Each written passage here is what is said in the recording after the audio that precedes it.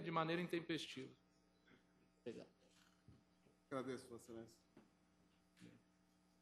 Para continuidade de julgamento, O processo não vai. Não, aí eu fico. é, apregou o recurso extraordinário número 589.998.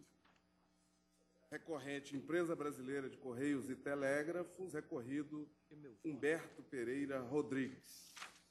Eu tenho voto vista na matéria, que passo a proferir. Ah, Trata-se de Senhor, recurso pres- extraordinário. senhor presidente, pela, pela recorrente ECT, foi suscitada uma questão de ordem ao eminente ministro relator, Ricardo Lewandowski, e eu consulto a corte se não seria o caso de se apreciá-la antes de Vossa Excelência pronunciar o vosso voto. Para o Lewandowski?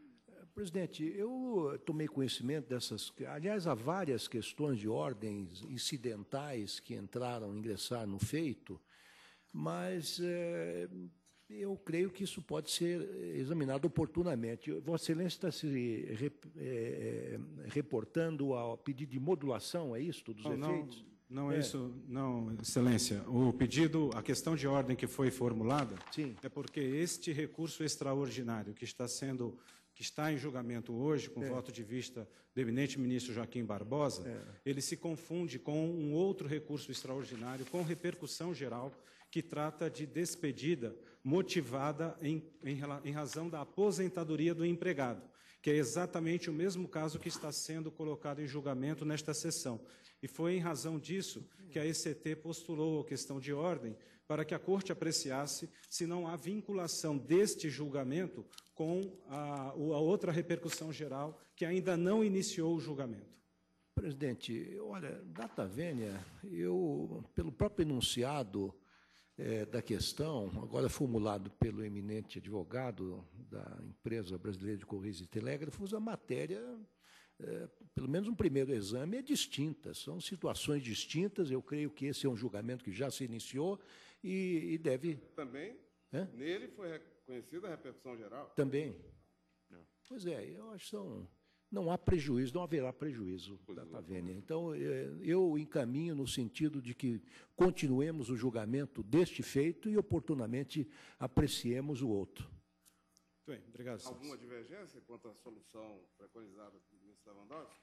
Passo, então, ao, ao voto visto. Trata-se de recurso extraordinário interposto pela ECT contra acórdão proferido pelo Tribunal Superior do Trabalho, que tem a seguinte ementa. Empresa Brasileira de Correios e Telégrafos, ECT, dispensa imotivada a validade do ato de despedida do empregado da Empresa Brasileira de Correios e Telégrafos está condicionada à motivação, visto que a empresa goza das garantias atribuídas à Fazenda Pública. Decisão recorrida em consonância com a orientação jurisprudencial número 247, item 2 da SBDI desta Corte. Embargos, recurso de embargos que não se conhece, de que não se conhece. O Tribunal Superior do Trabalho reconheceu a nulidade da dispensa imotivada de empregado da SCT e determinou que ele fosse reintegrado no emprego. Entendeu a Corte, a Corte do Trabalho Superior, que a ST goza do mesmo tratamento destinado à fazenda pública em relação à imunidade tributária e à execução por precatório, além das prerrogativas de foro, prazo e custas processuais. Por essa razão, a SCT não teria o direito potestativo de resilição unilateral do contrato de trabalho, estando sujeita à motivação do ato de dispensa dos seus empregados. No recurso extraordinário, a recorrente alega afronta aos artigos 41 e 173, parágrafo 1 da Constituição Federal. Afirma que a ECT é uma empresa pública, pertencente à administração pública indireta, cujo regime jurídico é privado, de modo que seus empregados ostentam a qualidade de seletistas. Não se pode, por isso, falar na estabilidade prevista no artigo 41 da Constituição Federal. Assim, sustenta que os dirigentes de empresas públicas e sociedades de economia mista podem dispensar o seu pessoal no exercício do seu direito potestativo de resilição unilateral do pacto laboral, independentemente de qualquer motivação, já que essa faculdade é inerente ao regime de trabalho pautado pela consolidação das leis do trabalho, cuja observância para tais entes, Sociedade de Economia Mista e Empresas Públicas, é compulsória por força do artigo 173, parágrafo 1 da Constituição Federal. O Supremo Tribunal Federal reconheceu a repercussão geral da matéria e, em 6 de novembro de 2008. Na sessão do dia 24 de fevereiro de 2010, o relator ministro Ricardo Lewandowski negou o provimento ao recurso. Em seu bem assentado voto, o relator entendeu que, aspas, o dever de motivar o ato de despedida de empregados estatais admitidos por concurso público aplica-se não apenas à ECT, mas a todas as empresas públicas e sociedades de economia mista que prestam serviços públicos. Fecha aspas. Sua Excelência acrescentou ainda que, aspas, embora a rigor as denominadas empresas estatais ostentem a natureza jurídica de direito privado, elas se submetem a regime híbrido, ou seja, sujeitam-se a um conjunto de limitações que têm por escopo a realização do interesse público. Em outras palavras, no caso dessas entidades, ocorre uma derrogação parcial das normas de direito privado em favor de certas regras de direito público. Fecha aspas. Assim, o ministro relator afirmou em seu voto que a motivação do ato de dispensa visa resguardar o empregado de uma possível quebra do postulado da impessoalidade por parte do agente estatal investido do poder de demitir, razão pela qual se impõe na espécie não apenas seja a despedida motivada como precedida de um procedimento formal em que se garanta ao empregado o direito ao contraditório, quando lhe seja imputada conduta desabonadora, porquanto, além de conferir-se a necessária publicidade à demissão, ficará o ato devidamente documentado e arquivado na empresa, permitindo seja a sua fundamentação a qualquer momento contrastada às normas legais aplicáveis. Fechar aspas. O ministro Eros Grau acompanhou o relator votando pelo desprovimento do recurso. Naquela assentada, foi questionada a eventual extensão da aplicação da decisão da Corte a todas as empresas públicas e sociedades de economia mista, a não estabilidade dos empregados das empresas estatais e a necessidade ou não de procedimento específico para a dispensa desses empregados com a observância do contraditório. Eu pedi vista dos autos para melhor análise da matéria. Inicialmente, creio ser interessante observar que, até o início do julgamento deste recurso extraordinário, a jurisprudência desta Corte, sem percalços, admitia a dispensa imotivada dos empregados de empresas estatais, independentemente de motivação do ato ou de qualquer espécie de procedimento administrativo. Isso estou me referindo até 2000, até o início do julgamento. A repercussão geral foi reconhecida em 2008, o julgamento começou em 2010. Com efeito, em 1999, no julgamento do AI, agravo de instrumento número 245.235, da relatoria do meu ilustre antecessor, ministro Moreira Alves, a primeira turma entendeu não se aplicar aos empregados das empresas estatais a estabilidade prevista no artigo 41 e seus parágrafos da Constituição Federal. Razão porque não haveria óbice a dispensa imotivada dos seus empregados. A questão ficou melhor explicitada no julgamento do RE número 289.108, também da relatoria do ministro Moreira Alves, cujo acórdão transcrevo em meu voto. Tem mais ou menos o seguinte teor. Aspas.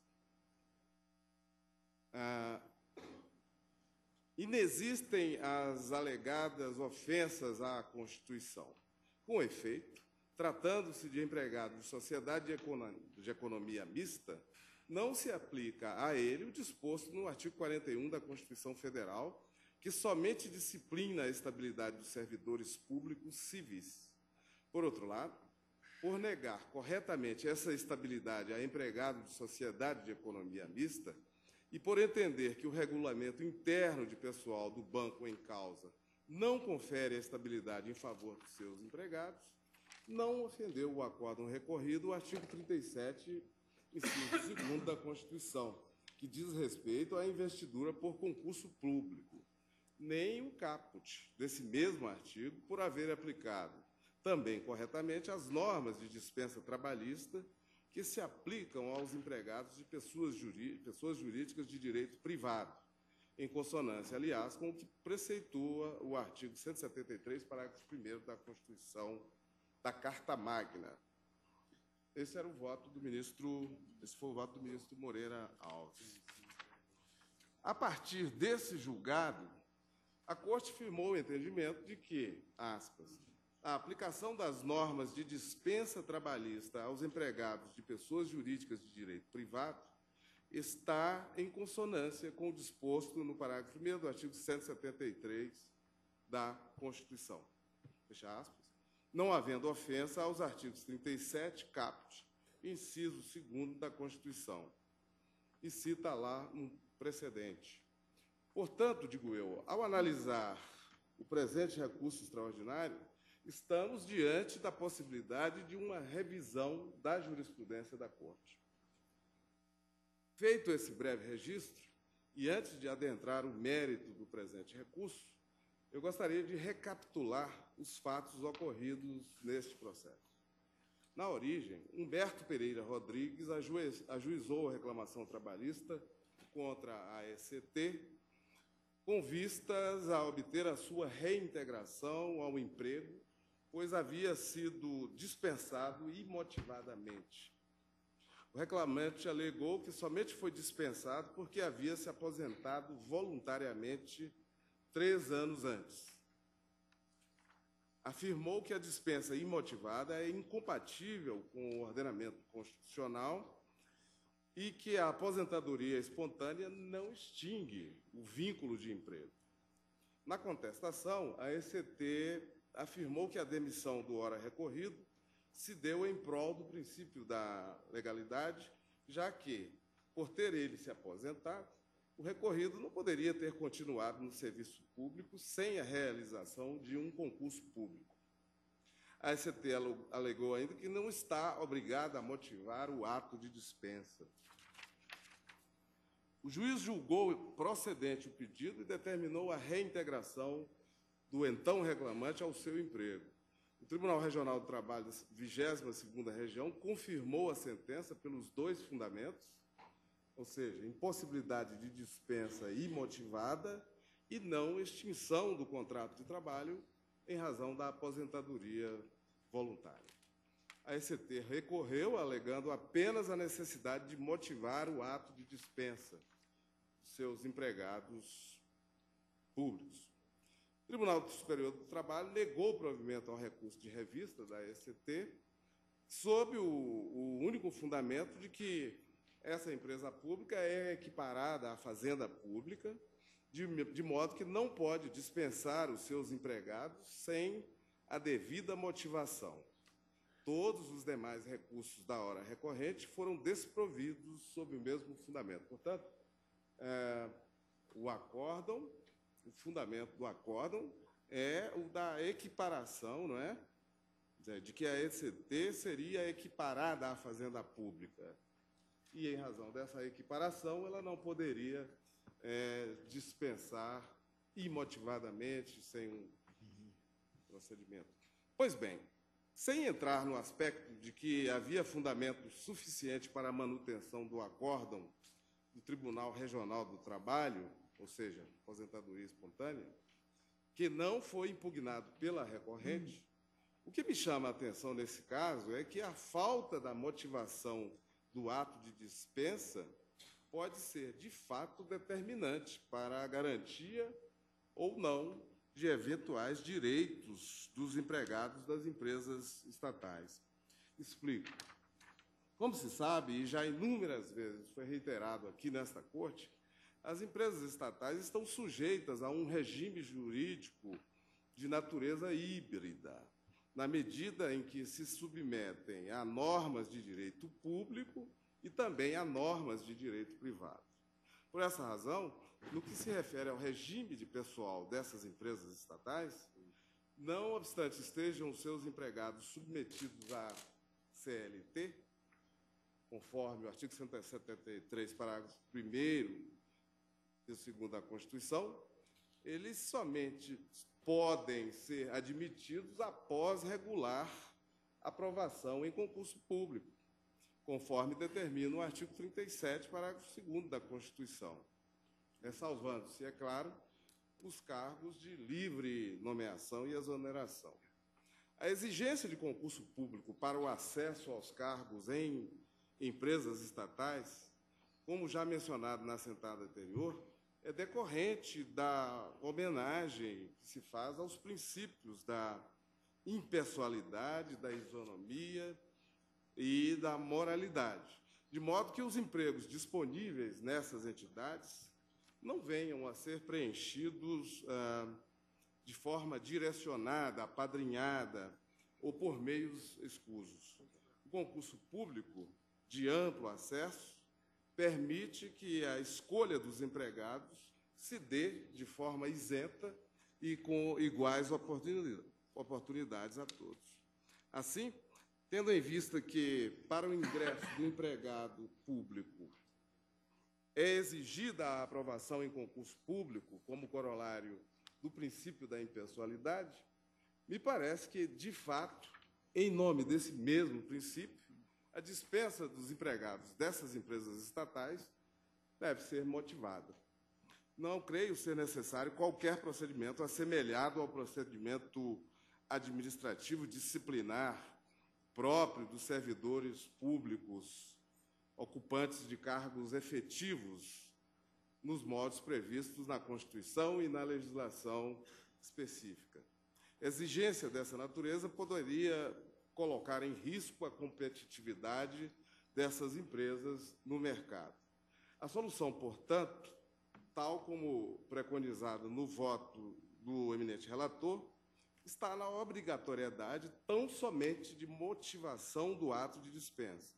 Em outras palavras, a demissão do empregado das empresas estatais deve estar fundamentada e justificada, sejam quais forem as razões para o rompimento do vínculo trabalhista.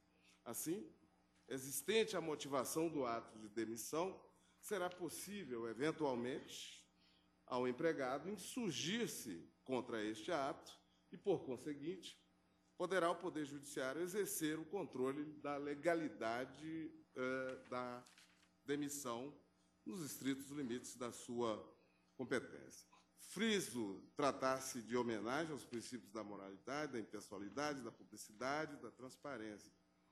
Deixo bem claro que não estou, em nenhuma hipótese, reconhecendo a estabilidade do artigo 41 da Constituição a esses empregados de empresas estatais. Nesse ponto, deve prevalecer, a meu juízo, a jurisprudência desta Corte, que se firmou no sentido de que a estabilidade do artigo 41 da Constituição aplica-se tão somente aos servidores públicos submetidos a uma relação de direito público administrativo. Creio, por fim, que, em se tratando de recurso extraordinário submetido ao regime de repercussão geral, a decisão adotada pela Corte deve sim afetar todas as empresas públicas e sociedades de economia mista de todas as esferas e não apenas a ECT. Com essas breves considerações, eu acompanho o voto de, do relator para negar provimento ao recurso. Senhor presidente, Vossa Excelência me, pois não. me permite uh, a palavra por breves minutos ou segundos, talvez eu eh, acompanho inteiramente o entendimento de Vossa Excelência. Eu fiz distribuir o meu voto, em nenhum momento eu admiti que os servidores das empresas públicas, das empresas estatais, tivessem a estabilidade do artigo 41. É, mas entendi que, como estes servidores ingressam em tais empresas, em tais empresas, mediante concurso público, como Vossa Excelência bem acentuou agora, a demissão deve ser necessariamente motivada. Quer dizer, é, esses servidores podem ser demitidos por justa causa e sem justa causa também, mas sempre de forma motivada. É preciso que essa demissão seja formalizada e, como Vossa Excelência muito bem colocou, em homenagem aos princípios da moralidade, impessoalidade, transparência, enfim, todos aqueles princípios que norteiam, que norteiam a administração pública que estão é, consignados no artigo 37, capo da nossa Constituição. Então, não se trata, de forma nenhuma, de dar estabilidade a esses funcionários, aquela que é prevista no artigo 41 da nossa Carta Magna. Obrigado, senhor presidente. Nilson Teori. Senhor presidente, essa questão é interessante porque envolve aqui também né, a necessidade de nós eh, adotarmos uma certa técnica no julgamento é que a tese do acordo recorrido, como Vossa Excelência expressou no, no voto, é de que, considerado estar a empregadora, a empresa pública, prestadora de serviço público, equiparada à fazenda para certos fins, os seus empregados ficam revestidos automaticamente da garantia da estabilidade do emprego. Essa é a tese do, do, do, acordo. do acordo. Essa tese, Vossa Excelência já, já demonstrou no, no voto de Vossa Excelência, acho que o ministro Lewandowski também, essa tese, como está colocado, não pode ser mantida. Dizer, esse argumento prova demais. A se dar acolhida a ele, ter-se-ia que concluir, pelas mesmas razões, que tais empregados ficam também automaticamente investidos de todos os demais direitos, prerrogativas, deveres e limitações dos servidores estatutários. Sim. Em outras palavras, ter-se-ia de concluir que os servidores da ECT estão submetidos para todos os efeitos e desde o advento da Constituição de, de 88, não mais ao regime trabalhista, de natureza marcadamente contratual, mas ao regime próprio dos servidores públicos, de natureza estatutária.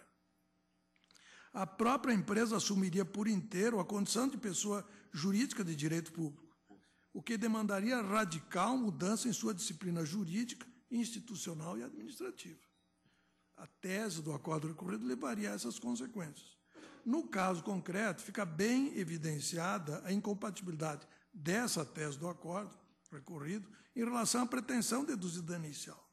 Diz o autor que foi admitido em, em 12 de 12 de 72 sob o regime da CLT, exercendo a função de motorista, sendo despedido em 8 de 10 de 2001 sem justa causa. Ainda segundo a inicial, entre aspas, a reclamada tomou tal atitude por estar o reclamante aposentado. Fecha aspas.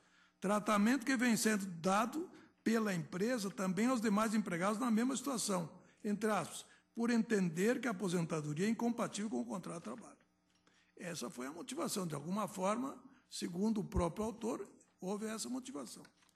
Digo eu, o que o autor pretende, segundo sustenta, não é afastar o regime trabalhista. Ele diz isso expressamente na inicial. Mas assegurar o direito de se manter no seu contrato de trabalho, mesmo aposentado somente podendo ser emitidos por justa causa, apurada mediante processo administrativo. É isso que ele quer. Ora, essa pretensão de se manter no cargo após a aposentadoria, se já é questionável no regime trabalhista, é manifestamente incompatível com o reconhecimento da natureza estatutária da relação funcional. Se nós considerarmos que a relação é estatutária, evidentemente que não, ela não, não pode ser compatibilizada com um acúmulo de uma aposentadoria.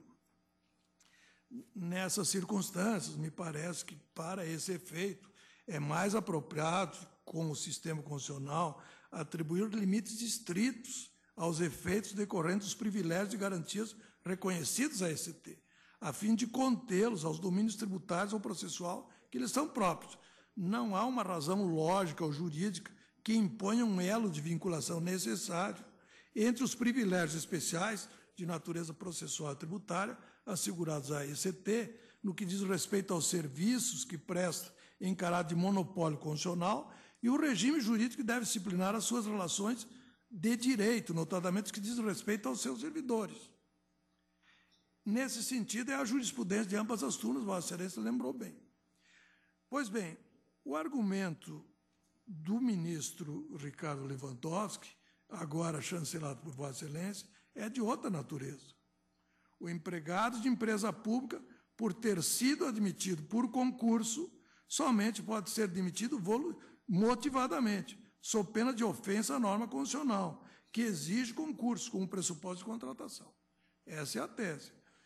Me parece que esse fundamento é procedente. Se a Constituição exige concurso público para a contratação, não se poderia admitir que a dispensa pudesse ocorrer sem motivação idônea, sob pena de abrir-se as portas para a fraude à norma constitucional. Então, estabelecido esse parâmetro que se aplica a, a todas as empresas estatais, eh, não apenas a ECT, o acordo recorrido, como, como se disse, ele focou a questão da ECT e os seus privilégios tributários e processuais. Essa tese que se aplica a todas eh, demandaria da nossa parte, ou demandaria um exame sobre dois aspectos. Primeiro, saber o que significa motivação idônea. Certamente não pode ser equiparada à motivação que dá origem à dispensa de um servidor estatutário. Uhum. Sim, até porque, se Vossa Excelência me permite, eh, estrito senso, não existe na empresa pública o processo administrativo. O processo administrativo se submete a um regime de natureza pública especialíssima. Quer dizer, é, claro, é uma formalização da dispensa com uma motivação idônea. Agora, se ela é idônea ou não em face da CLT, quem vai examinar é o juiz, no caso concreto. É e nós não podemos, desde chegar. logo, estabelecer isso. Eu queria chegar, porque a petição inicial reclama é um processo administrativo. Ele reclama é. estabilidade. E, e um processo administrativo que se garante contraditório e ampla defesa. Se manter essa decisão.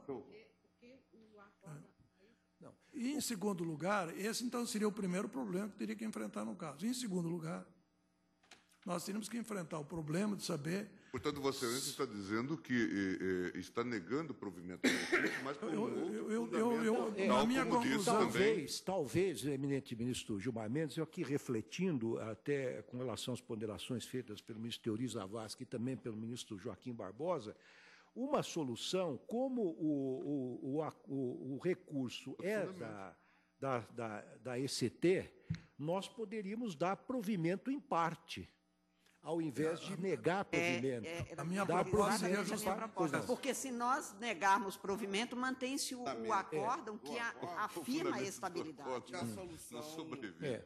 a solução a que nós chegamos. É. Não é?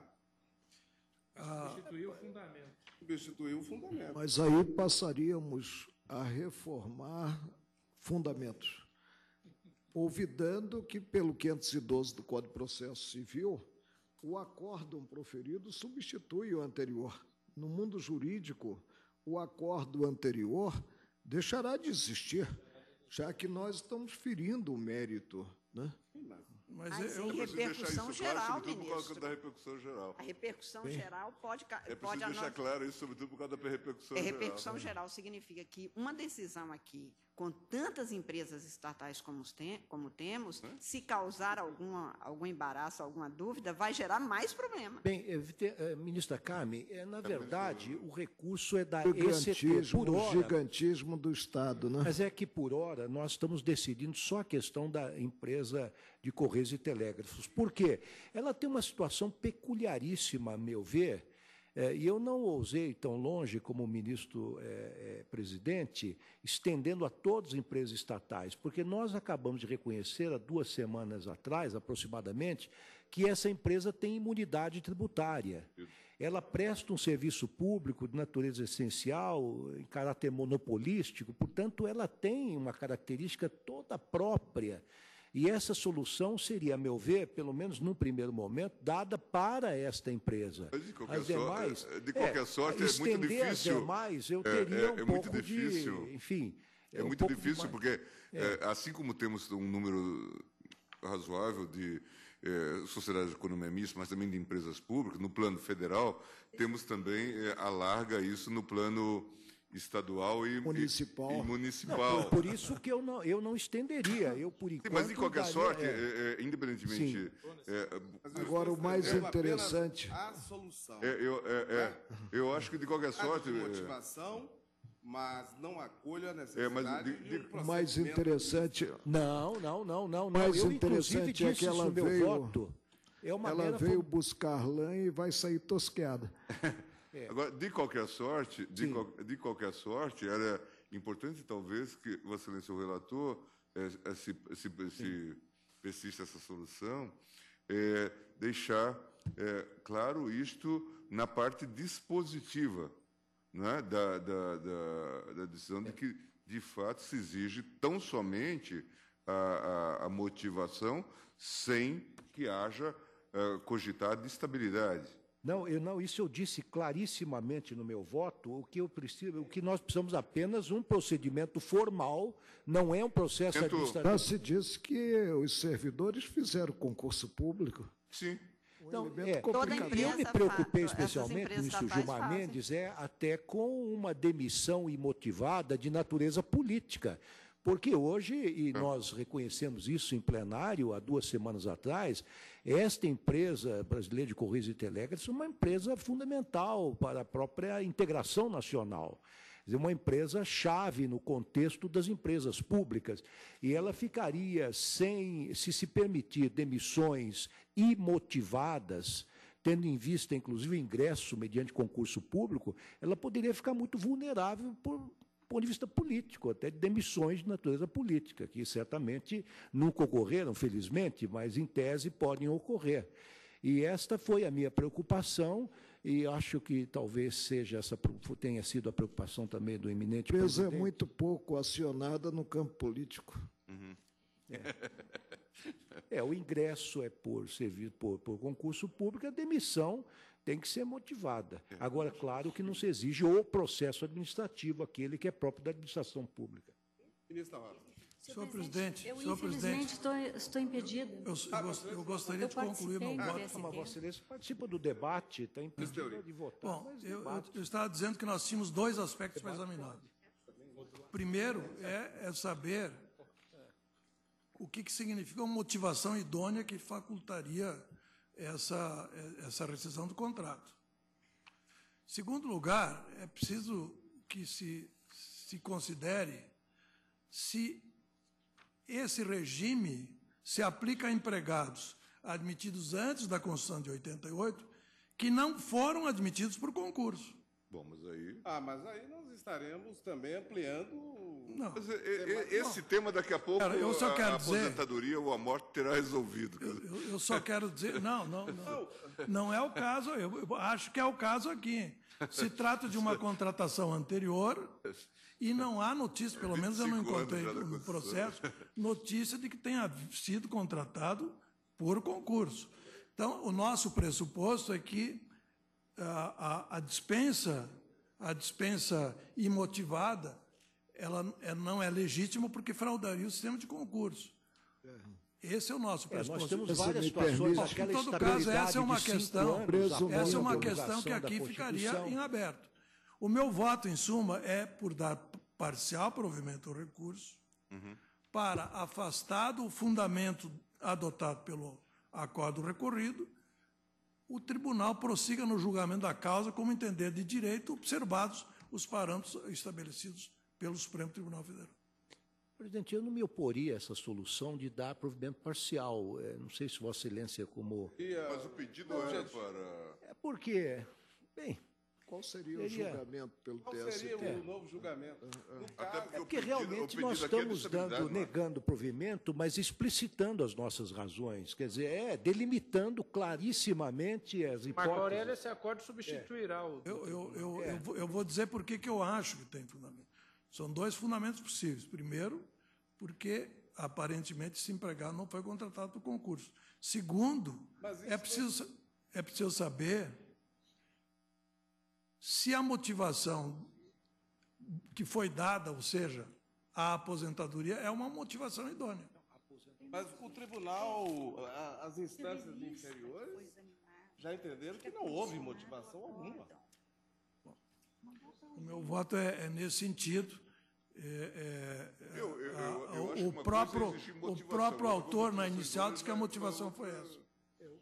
O próprio autor, na petição inicial, Não é? diz É, é, expressamente. isso vai se dar no controle é que eventualmente se faça. Quer dizer, o que se pode exigir é que se o haja recurso- motivação.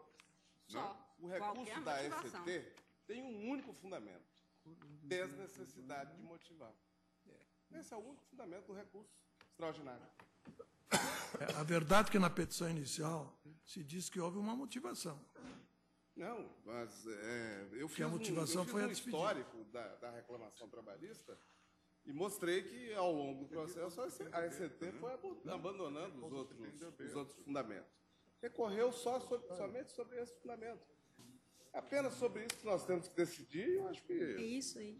o relator disporá não é, de maneira bem restrita, focada, Claro, o que for decidido pelo plenário, eu me proponho, dentro destas balizas que nós traçamos, é, readequar o meu voto. Eu penso que está bem fechado. Vossas Excelências até receberam cópia do meu voto, mas eu, uh, dependendo do que for decidido aqui, eu ainda fecho mais ainda o voto para que não haja nenhuma dúvida eh, quanto à, à motivação que levou o tribunal a negar provimento ao recurso da empresa de Correios e Telégrafos.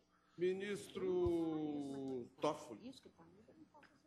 Senhor presidente, quando estava à frente da Advocacia Geral da União, eu aprovei parecer da lavra do então consultor-geral da União, doutor Ronaldo Jorge Araújo Vieira Júnior, abnegado servidor público, consultor de carreira do Senado da República e que, na época que estive na AGU, foi o consultor-geral.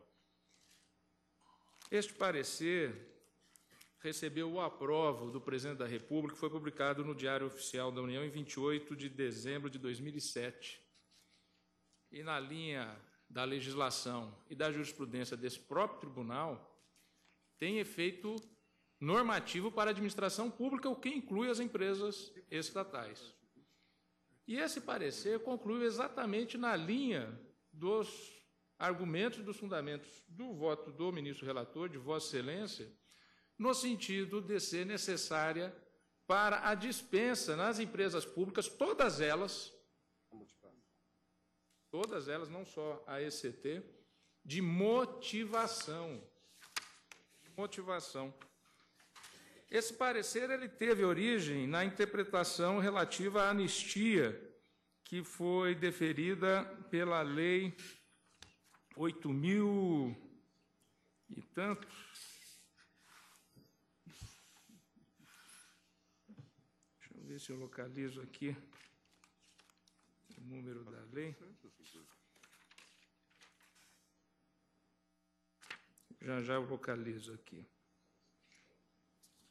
Mas eu gostaria de destacar desse parecer alguns trechos. É um longo parecer do consultor que eu aprovei. Inicia dizendo que a Constituição de 1988 repele a ruptura desmotivada e arbitrária do vínculo trabalhista, tanto no artigo 7, inciso 1, para o trabalhador em geral, quanto o 41, parágrafo 1 da Constituição em relação ao servidor estável. O não estável também só pode perder através de decisão motivada. O próprio não estável. Caso não logre demonstrar capacidade e aptidão necessárias ao exercício do seu cargo, conforme estabelecido no artigo 20 do Estatuto do Servidor. Mesmo não estável, tem que ter o processo motivado. Daí que diz o parecer, a interpretação sistêmica do texto constitucional quanto à matéria traz uma clara mensagem ao legislador e ao gestor público. A República Federativa do Brasil repudia a demissão e a exoneração ou a dispensa imotivada e arbitrária de seus servidores e trabalhadores.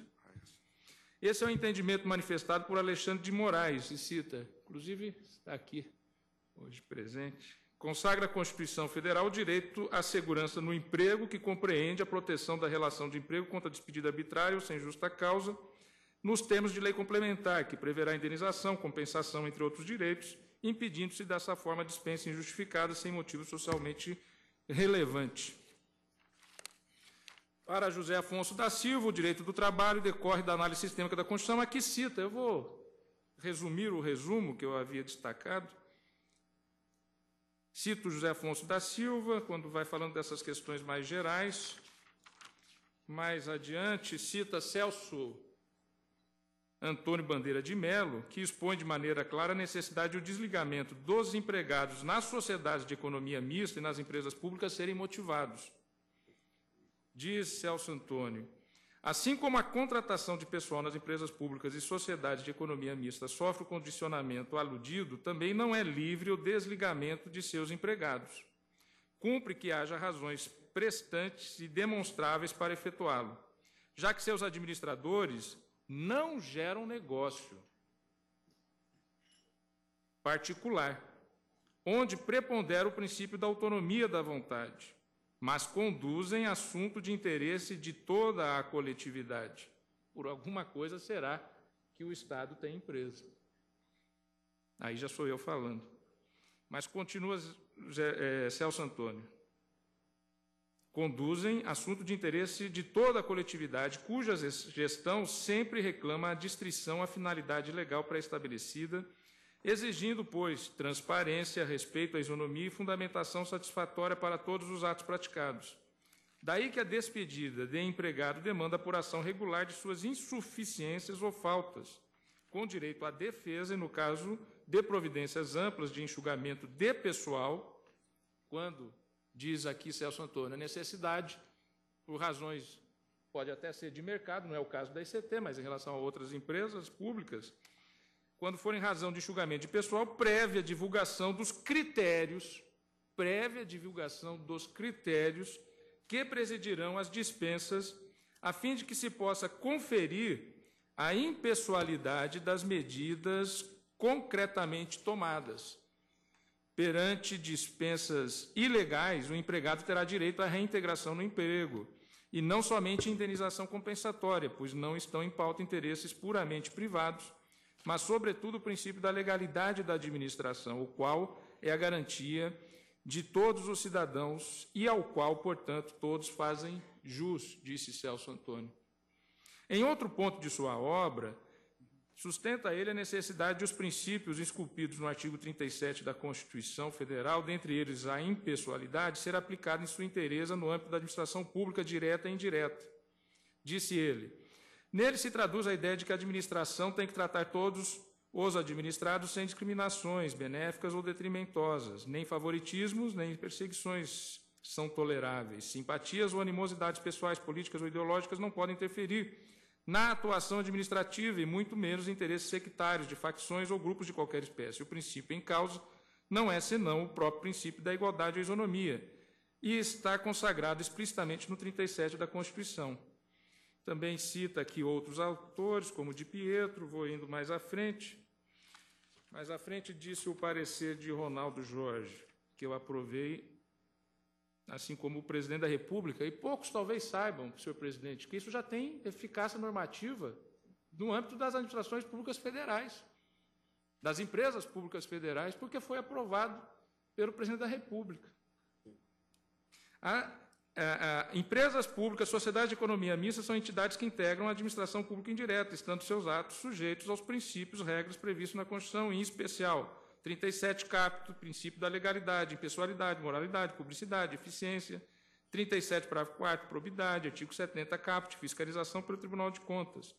Também cabe mencionar o disposto no artigo 2 da 9784, de 29 de janeiro de 99, que estabelece que a administração pública deve observar, além daqueles princípios estatuídos no 37, cabe da Constituição Federal, os princípios da motivação, razoabilidade, proporcionalidade, ampla defesa, contraditório segurança jurídica. Esses não deixam de ser princípios implícitos na Constituição. Esses princípios e regras são de observância obrigatória para a prática dos atos administrativos no âmbito das empresas estatais, neles incluídos os atos de despedida de empregados públicos. Desta forma, evita-se a prática de atos abusivos de cunho, por exemplo, discriminatório ou político, por parte das autoridades superiores que representam tais entidades estatais. Ademais, garante-se ao empregado público que foi admitido por meio de um criterioso processo de seleção uma forma de saída também criteriosa, que é a despedida motivada. E no parecer também fica claro que aqui não se está a dar aos empregados públicos a estabilidade do 41, mas a exigir. A exigir. O parecer é bastante longo, mas acrescenta aqui, senhor presidente, já para concluir o resumo do resumo, que as estatais submetem-se às normas de licitação. O fato das estatais disputarem no mercado não dá a ela todos os benefícios do mercado. Ela continua submetida a Tribunal de Contas, ela continua submetida à lei de licitações, ainda que sejam normas simplificadas. Estamos aqui a discutir as normas simplificadas ah, relativas à Petrobras, por exemplo. Ainda que sejam normas simplificadas constantes de regulamentos próprios, como o previsto no 119 da Lei 8666, restrição que não se aplica às empresas privadas, as estatais, caso sejam consideradas dependentes, ou seja, recebam recursos do ente controlador para pagamento de despesas com pessoal ou de custeio, em geral ou de capital, submetem-se, por força da linha B do inciso 1, parágrafo 3 do artigo 1 da Lei Complementar 101, às graves limitações impostas pela Lei de Responsabilidade Fiscal, o que também não se aplica, por óbvio, às, empre às empresas privadas. Ou seja, aqui o parecer foi fazendo uma comparação de como o fato das empresas atuarem no mercado não levam a elas a terem os mesmos. Demonstrou a natureza o mesmo híbrida. Híbrida, exatamente. Há, pois, um sem número de restrições, limitações e imposições vivenciadas pelas estatais que não se aplicam às empresas privadas. Chega a soar artificial a pretensão de que a equiparação entre elas seja absoluta. E mais, utilizar esse tipo de argumento a sustentar a possibilidade da demissão imotivada do seu empregado. De um lado, porque o texto constitucional não permite, como visto, que a relação de emprego, mesmo nas empresas privadas, seja desprotegida contra a despesa arbitrária. Por força do que se tem no inciso 1 do artigo 7 da Constituição Federal. E por aí vai, senhor presidente. Então, eu voto no sentido de acompanhar os votos até aqui já proferidos. E farei juntar o voto de maneira organizada por escrito. Presidente, eu acompanho o relator, mas eu vou gostaria que ficasse bem especificado, acho que está, ministro Lewandowski, é, restringindo a questão da motivação. Por que, por que digo isso? Porque foi citada aqui inúmeras vezes, inclusive por Vossa Excelência, a questão do regime jurídico do servidor. A circunstância de se ter um servidor que ingressa por concurso público, a meu ver, não altera nem atinge o regime jurídico.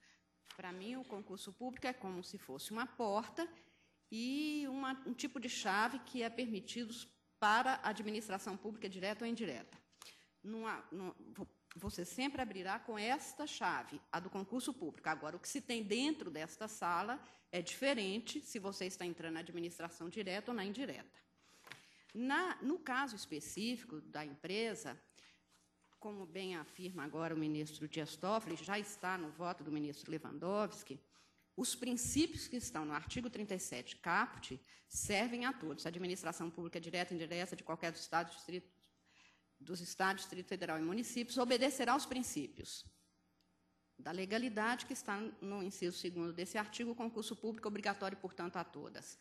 Da impessoalidade, que obriga o concurso público, ainda que não estivesse em regra expressa. Da moralidade, que foi posto, posto por Vossa Excelência, porque é exatamente a coisa pública que é, no caso, objeto dessa empresa.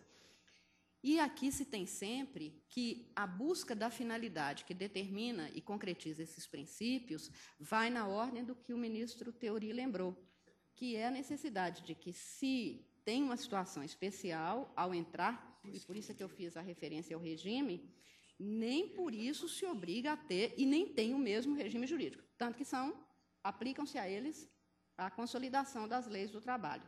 Alguns desses princípios, no entanto, se sobrepõem até a essa legislação específica, no caso a trabalhista. Portanto, a motivação, a meu ver aqui, é imprescindível porque o princípio da finalidade ordena todos os comportamentos da administração pública indireta. E não há como se verificar e se controlar a finalidade se não tiver a motivação, que era muito bem explicitado pelo ministro, é, pelo ministro Seabra Fagundes. Ele afirmava a finalidade vem implicitamente nesses princípios da administração, expressos no artigo 37, porque se eu não souber qual é a finalidade nem o motivo, eu não tenho como fazer o controle para saber se houve a discriminação, lembrada agora pelo ministro Toffoli, ou não, porque eu posso mandar embora dizendo uma outra coisa, como se tem na empresa privada. É, nós, mulheres que fomos tantas vezes discriminadas, ninguém diz que prefere um homem advogado que uma mulher mas diz que você não, precisa de motivar, então nós, nós fomos discriminadas por conta disso. A discriminação pode ser política, a discriminação pode ser por qualquer ordem, e aí não se tem a motivação para que se faça esse cotejo, esse confronto entre o que foi alegado e o que está sendo executado. Por isso é que a motivação, a meu ver, compõe o próprio regime administrativo constitucionalmente estabelecido para administração pública direta e indireta, portanto, no caso, quanto à empresa brasileira de Correios e Telégrafos, eu não faço nenhuma, nenhuma distinção, mesmo pelas peculiaridades dela, o ministro Toffoli acaba de enfatizar isso. E eu, portanto, acho que a motivação é que é o dado essencial, que foi muito bem lembrado pelo ministro relator e por Vossa Excelência no voto vista. Mas eu acompanho o ministro relator e os que votaram até aqui, incluído agora o voto expresso hoje por Vossa Excelência, especificamente para negar provimento, considerando a necessidade de motivação e afastando, no meu voto, ainda que isso fique a látere, porque não é o dado fundamental aqui, mas só para enfatizar que não diz com a estabilidade do regime, absolutamente não. Até porque aí não precisaria de ter administração indireta, bastaria direta ou autárquica. E, neste caso, estamos diante de uma outra realidade. Então, senhor presidente, eu acompanho o ministro relator negando provimento para especificamente afirmar a necessidade de que haja motivação, ou seja, a expressão clara dos motivos, dar à, publicidade, ao a público, os motivos, mas sem qualquer outra vinculação que faça com que esse regime acabe se transformando num regime de direito público específico para servidores da administração direta ou autárquica. Apenas faço a, enfatizo por conta exatamente disso. Me associo. E, portanto, Ministro Gilmar. Voto nesse sentido. Eu acho que o debate ajudou a, a esclarecer essa é, questão, uma vez que, de fato, a motivação, como destacou o ministro Teoria, o, o fundamento do, do, do acórdão, neste caso,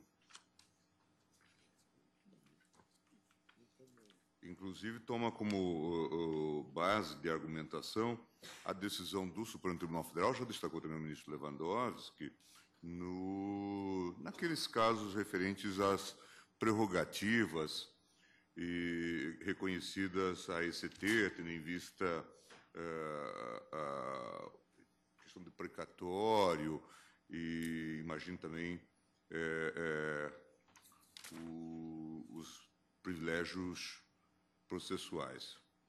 Aqui se diz claramente no, no acordo: esses privilégios resultaram na mitigação do comando incerto na, na, na, na orientação jurisprudencial 247, é assim que se diz, né, o J, e na construção do entendimento em virtude da qual esse ST não poderá mais efetuar demissão de seus empregados sem justa causa, sem motivação explícita do ato, como se fosse mera empresa privada no uso do seu poder potestativo e amparada que estava nas regras do artigo 173 da Constituição Federal.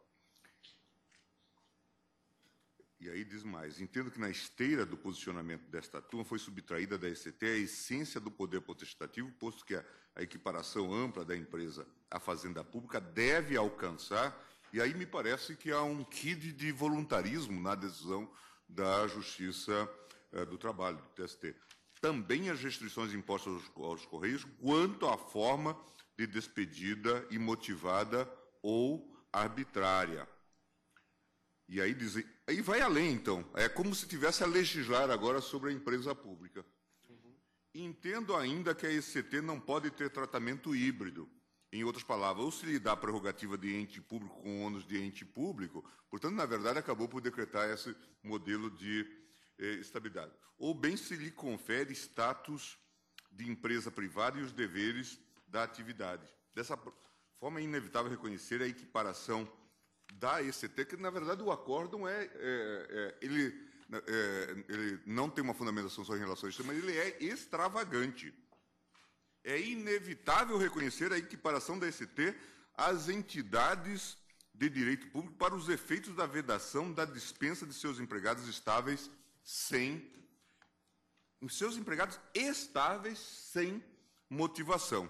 E aí nega uh, uh, provimento. Portanto, é preciso realmente uh, que se reconheça que se vai se exigir a, a, a, justificação ou a modificação no caso de dispensa, e aí disse apenas a justificação, até porque a idoneidade ou não dependerá do controle judicial que se venha a fazer, que se diga claramente é, que esses fundamentos, ainda que se negue provimento ao, ao recurso, que esses fundamentos não podem subsistir, como já destacou a ministra Carmen Lúcia também. Desautorizar essa robustez. Sim, teórica. porque a rigor é, não só se deu é, a estabilidade às empresas, como é, proclamou-se que a ECT agora era uma autarquia. Nesse momento deve ter sido investidos de poder de Deus.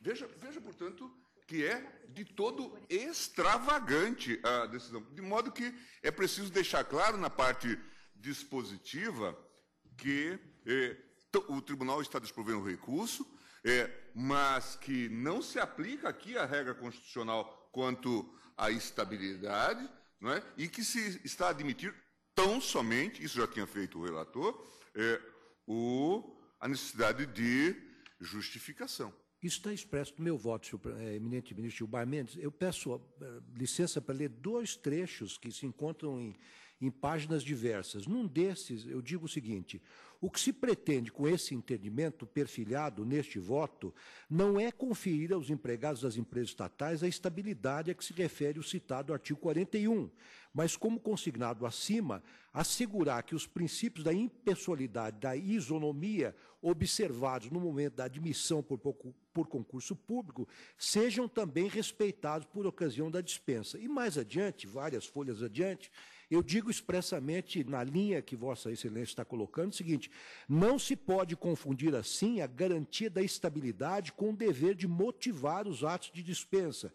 Tampouco imaginar que com isso os empregados teriam, como supõem alguns, uma dupla garantia contra dispensa imotivada. Eis que, concretizada a demissão, eles farão jus tão somente às verbas rescisórias previstas na legislação trabalhista. Meu voto está expresso nesse sentido, quer dizer, balizando com muita clareza e realmente me cingindo ao aspecto da motivação. Deve observar que realmente o voto do ministro Lewandowski fere especificamente esse aspecto. Agora, de outro lado, talvez tecnicamente coubesse um provimento parcial, como uhum. sugere o ministro Teori, por uma razão muito simples.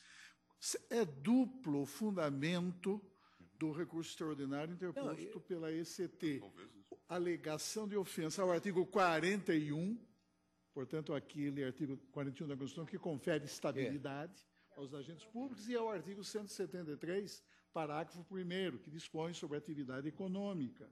Pois bem, ah, o tribunal está reafirmando nesse julgamento, a começar do voto do eminente relator, que é inaplicável às empresas públicas e às sociedades de economia mista a cláusula de estabilidade inscrita no artigo 41. Portanto, sob esse aspecto, há um parcial acolhimento da pretensão recursal da empresa brasileira de Correios e Telégrafos. Agora, nega-se, na outra parte, provimento ao recurso extraordinário, quando se entende que ela, como qualquer outra empresa pública ou sociedade de economia mista, está sujeita ao dever de motivação de que motivação indicação, portanto, precisa e congruente dos fatos subjacentes à ruptura unilateral do contrato individual de trabalho. Uh, e, e, sob esse aspecto, uh, o, o, tribunal, parece-me que os debates deixaram Parece muito sim. bem claro esse ponto. Então, talvez, talvez fosse o caso de o tribunal dar parcial provimento é. a partir da sugestão feita já pelo eminente ministro Teori, parcial provimento, mas explicitando a, a, a, a, inaplicabilidade, talvez fosse até didático e pedagógico explicitar a inaplicabilidade eh, na parte dispositiva do artigo 41 da Constituição. Eu não me oponho a essa é, solução. É, ministro, eu, eu, eu, não voto, porque o ministro Eros Grau já votou. Mas, por exemplo, eu entendi a colocação do ministro Lewandowski, só para colaborar. Por exemplo, quando o magistrado julga uma ação que tem dupla causa petente, se ele desacolhe uma e acolhe a outra, ele não julga procedente em parte, ele julga procedente, porque apenas uma das causas petentes foi afastada, mas acolheu pela outra. Sim. Então, a proposta do ministro Lewandowski, ele está dando provimento ao recurso, porque entende que tem que haver motivação. Está negando provimento Está negando provimento. Mas, de qualquer maneira, não, não, a, a outra causa petente, ele está afastando já na, na fundamentação do recurso. Mas é que está, mas, mas a, a, a, motivação, ela não faz coisa julgada. O próprio Código do Processo Civil diz que a motivação, ainda que determinante para o esclarecimento da parte dispositiva, não faz coisa julgada. Isso é importante, talvez, é explicitar no dispositivo do acórdão, vale dizer, na parte dispositiva, na parte em que o tribunal põe ou dispõe sobre determinada pretensão.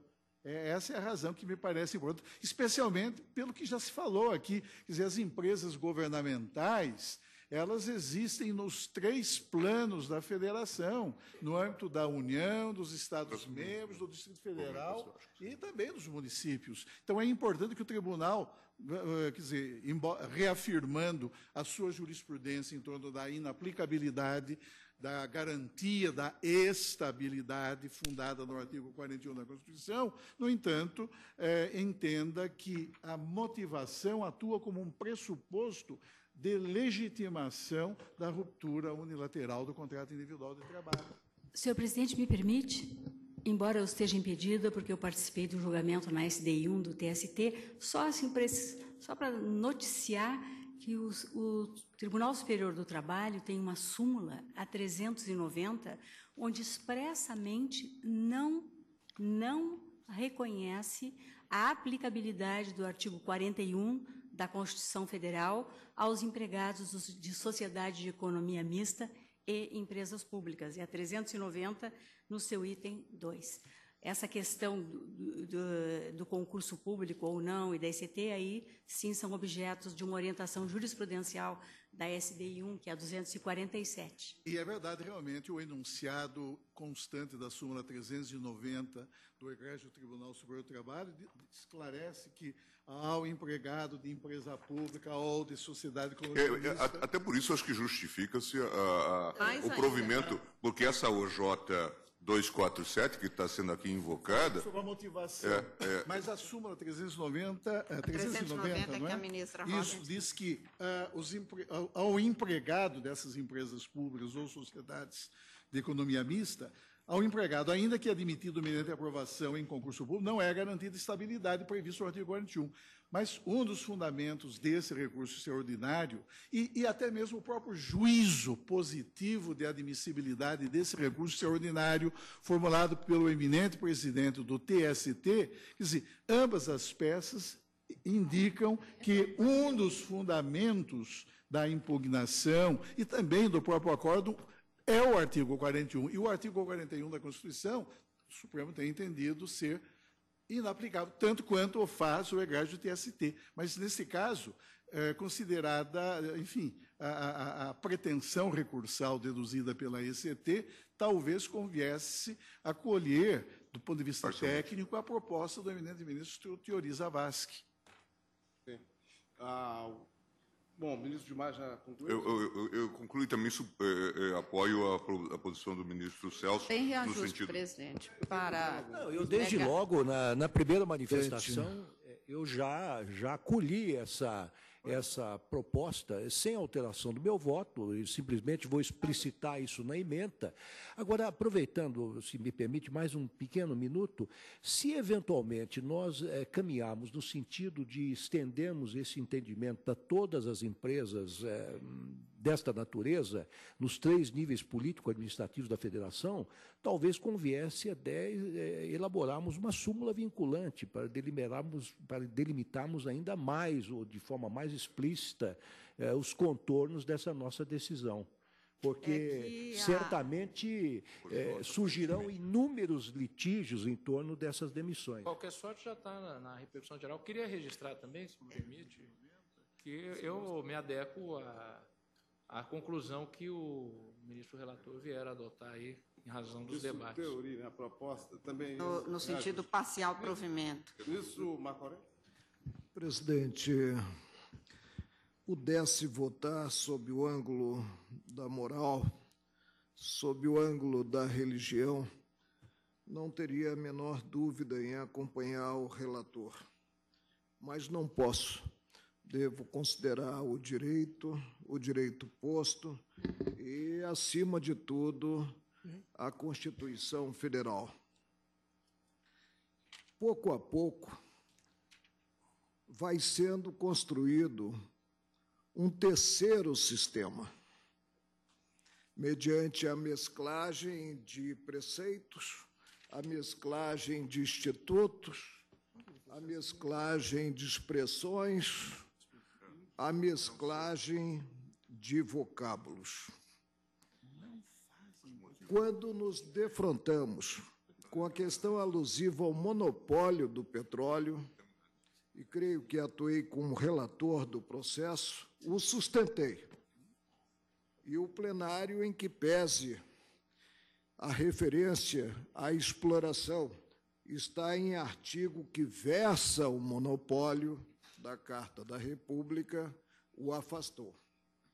Posteriormente, fui relator, uma coincidência decorrente da computação, fui relator do processo se não me falha a memória, que, em que se discutia o monopólio ah, da empresa de Correios Telégrafos.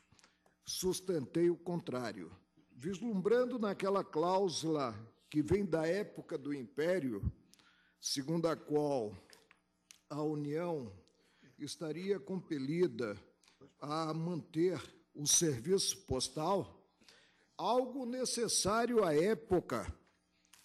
E em 1988 tivemos uma opção pelo privado, algo que necessário à época em que a iniciativa privada não tinha interesse em implementar esse serviço postal nos rincões do país.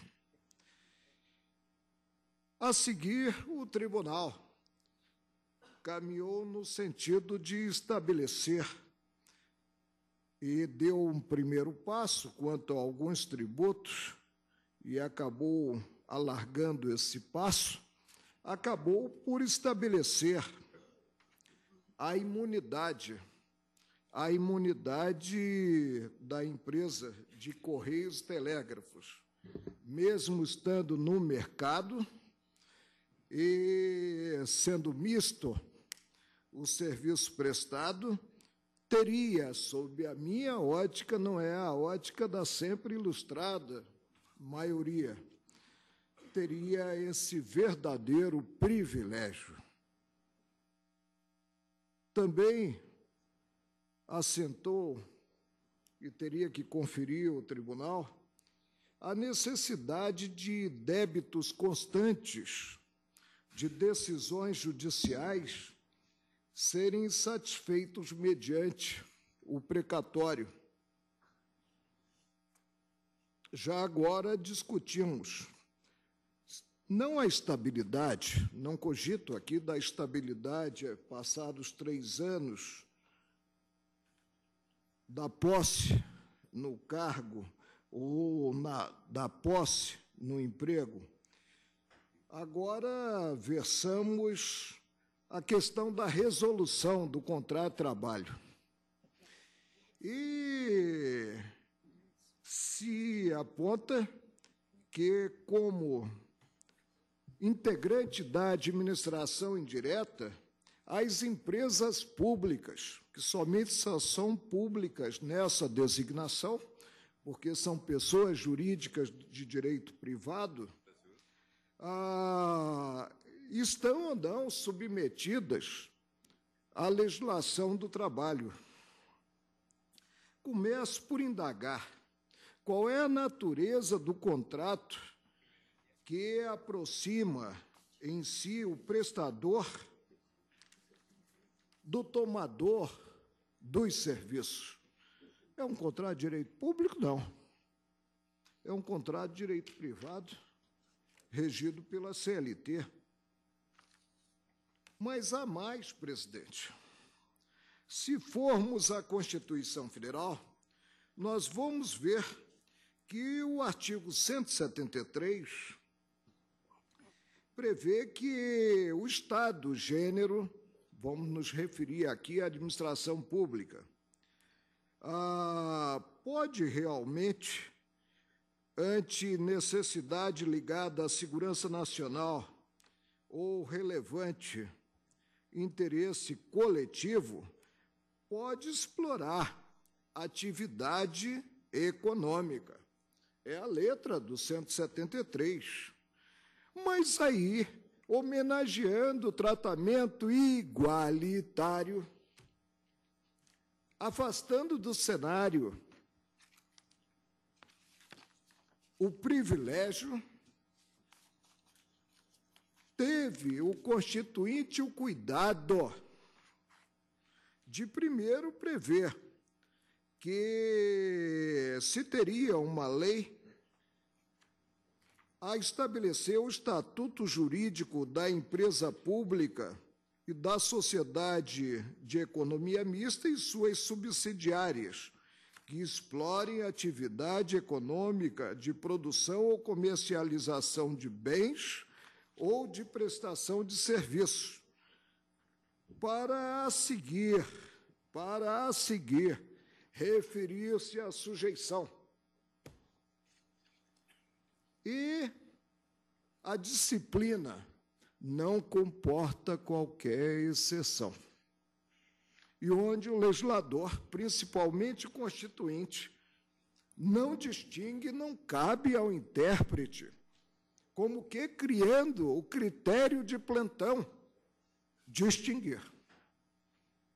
Não somos legisladores positivos, muito menos visando limitar o texto constitucional podemos ser negativos, consideradas as leis em geral e também emendas constitucionais, fulminando, portanto, o dispositivo por contrário ao texto permanente da Carta. Vem o inciso segundo categórico, no que cogita e cogita de forma cogente imperativa, já que estamos aqui a ler a Constituição Federal, e todos os preceitos são imperativos da Constituição Federal, cogita da sujeição ao regime jurídico. Mas qual regime jurídico? Um especial? Resultante de elucubrações? Não ao regime jurídico próprio das empresas privadas. E foi pedagógico o legislador constituinte. Foi redundante, diria eu, porque não precisava dessa cláusula que se segue, inclusive quanto aos direitos e obrigações civis, comerciais, direitos e obrigações, trabalhistas e tributários. Interpretação teleológica do preceito, objetivo do preceito, homenagear a paridade de armas no mercado. A balança da vida tem realmente dois pratos a empresa logrou reconhecimentos que, continuo convencido, discrepam da Constituição Federal. E já agora, com todo respeito devido àqueles que entendem de forma diversa, essa mesma Constituição Federal será colocada em segundo plano quanto às obrigações trabalhistas, direitos e obrigações trabalhistas, mas já com um sinal trocado, de forma contrária aos interesses da própria empresa. Presidente C, a empresa de Correios e Telégrafos, pessoa jurídica, direito privado, que explora, sabidamente explora a atividade comercial, está sujeita ao texto do artigo 173, mais especificamente ao que se contém no inciso 2 desse artigo, não posso dizer que, no caso, ela terá essa desvantagem quanto às demais empresas privadas, resultante do afastamento do direito potestativo de colocar fim à relação empregatícia. Em 1966, nós sabemos que, por iniciativa do doutor Roberto Campos, foi afastada a estabilidade. Aqui, como que, no que se diz que a cessação do contrato de trabalho por iniciativa do tomador dos serviços tem que ser motivada, nós restabelecemos de forma mitigada, reconheço, essa mesma estabilidade substituída pelo sistema do FGTS. Precisamos pensar. Não caberia, de qualquer forma, a pessoalidade, porque aí o privilégio seria um privilégio a mais não poder, para me parafrasear. Precisamos pensar que temos empresas públicas e sociedade de economia mista, e o passo está dado também para se colar essa exigência no tocante às sociedades de economia mista, nas três esferas, na federal, na estadual e na municipal.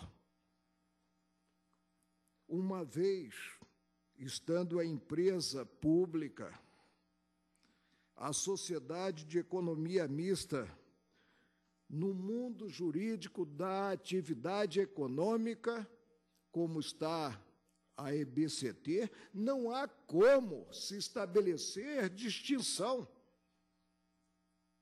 No que o preceito não distingue quanto à sujeição, no tocante a direitos e obrigações, as regras trabalhistas. E as regras trabalhistas contemplam a possibilidade de, sem justificativa socialmente aceitável, e os trabalhadores em geral estão submetidos a isso, o empregador colocar termo final ao contrato. Já dizia um velho juiz de meu primeiro tribunal, Tribunal Regional do Trabalho, que para divergir, nós temos que dizer por que divergimos, principalmente quando sustentamos em voz única um ponto de vista isolado. Eu creio que revelei as razões pelas quais entendo que, no caso, não cabe a criação desse terceiro sistema, excepcionando onde a Carta da República não excepciona ou seja, no tocante à sujeição sob o ângulo de direitos e obrigações das empresas públicas e sociedade de economia mista que explorem a atividade econômica, que estejam no mercado, às normas trabalhistas. Peço vênia para prover o recurso. Ministro Celso Senhor presidente, o, o eminente ministro Marco Aurélio sabe muito bem que o significado que assumem os votos vencidos nos colégios judiciários, eh, como esta Suprema Corte.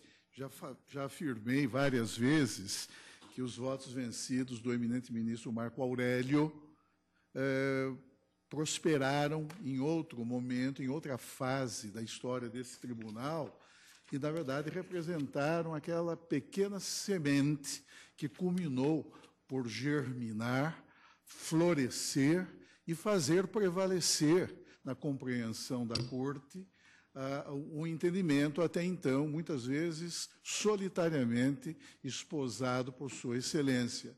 E a história desta corte, desde o início da República, é muito rica uh, na, na, na, na valorização dos votos vencidos. Veja-se o exemplo, não é, muito sugestivo do voto vencido do ministro Pisa e Almeida no célebre, histórico, habeas corpus número 300, impetrado por Rui Barbosa perante esta corte em defesa de inúmeros pacientes inclusive de um poeta, Olavo Bilac, que se insurgiram contra a vontade arbitrária daquele usurpador da função presidencial, que foi o Marechal Floriano Peixoto.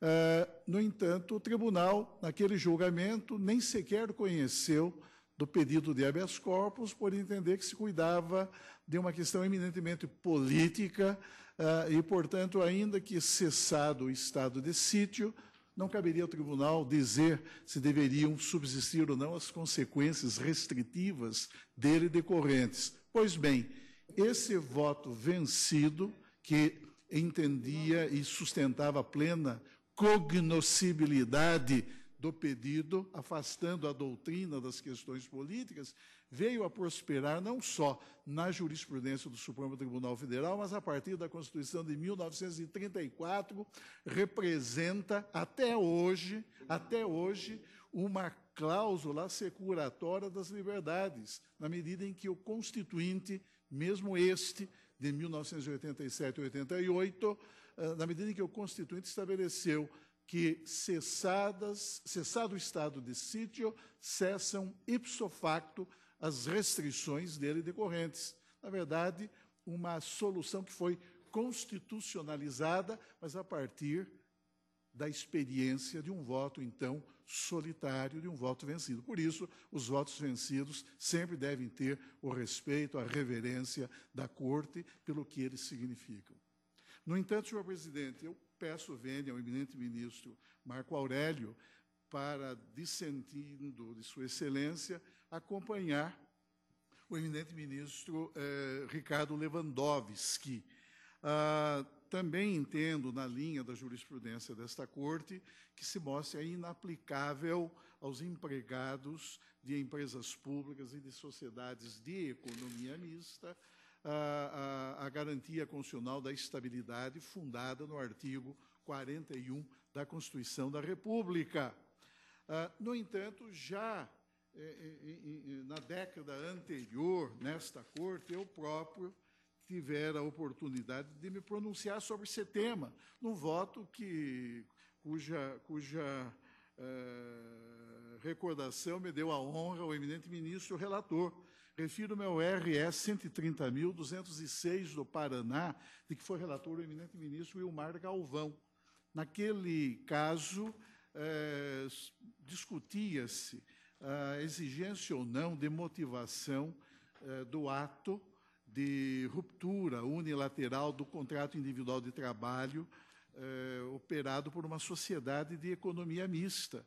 Por quê? Porque o, empregado teria sido eh, arbitrariamente despedido em razão de motivos ou de sua convicção política a propósito de determinados temas.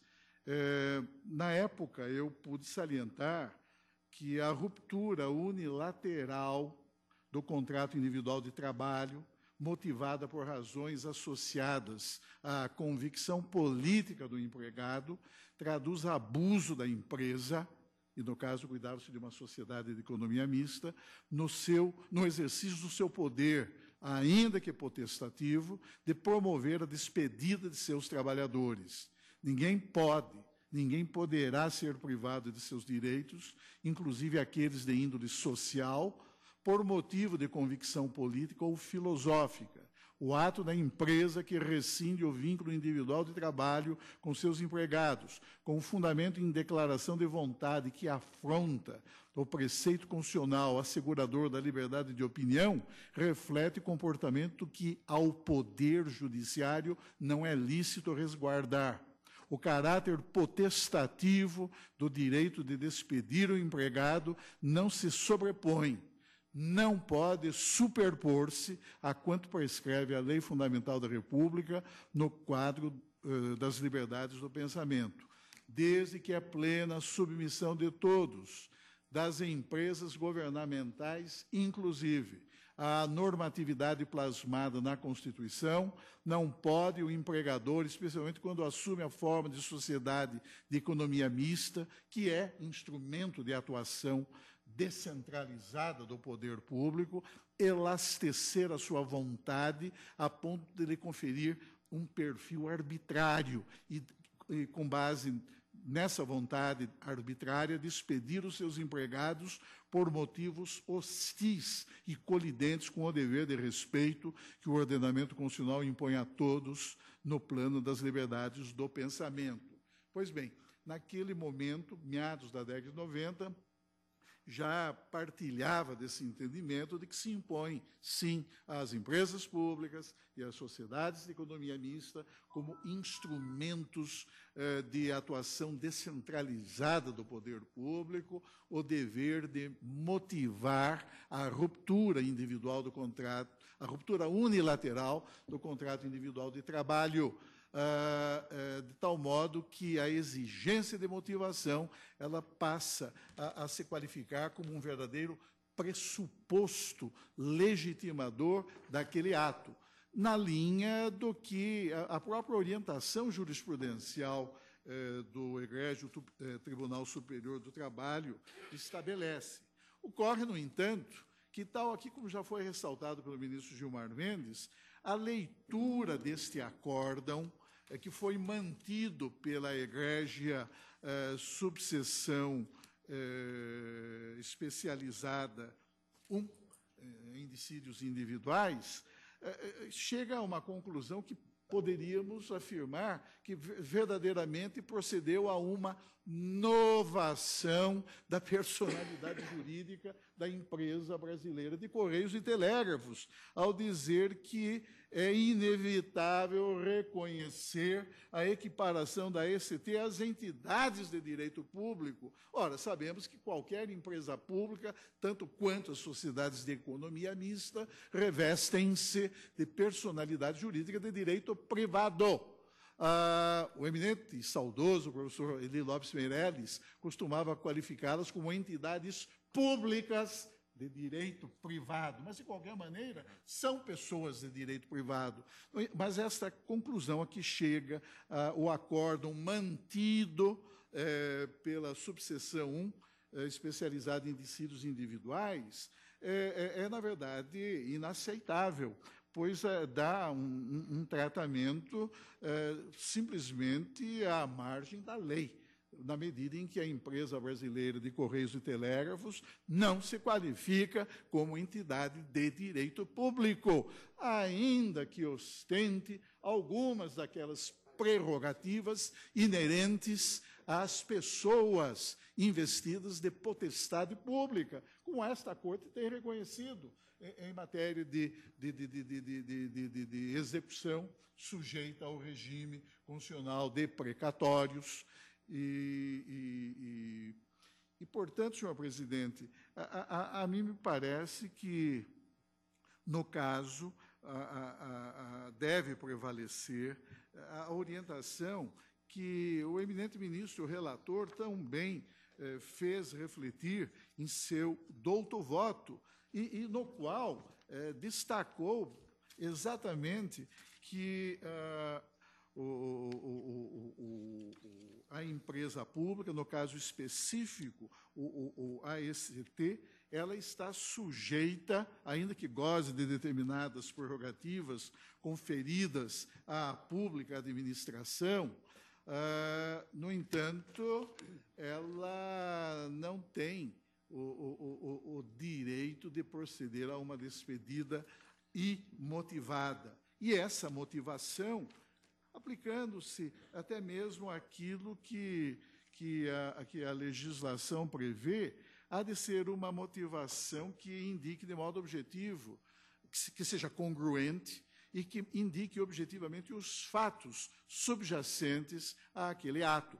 É claro que a empresa brasileira de Correios e Telégrafos, como qualquer outra empresa governamental, não está inibida, não está impedida de exercer esse poder de resilição do contrato individual de trabalho. Poderá sim fazê-lo, mas deverá fazê-lo legitimamente, de acordo com o que estabelece esta a, a diretriz que vem de certa maneira, hoje, a prevalecer de maneira muito clara na jurisprudência é, desta Corte.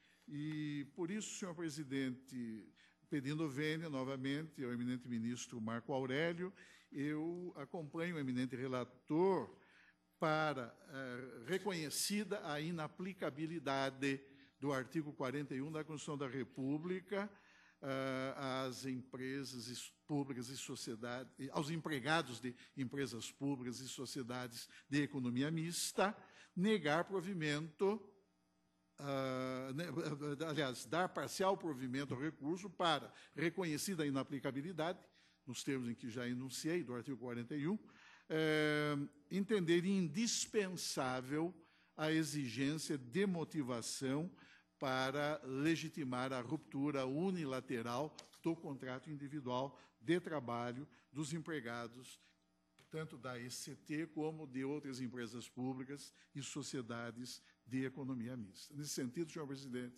é o meu voto.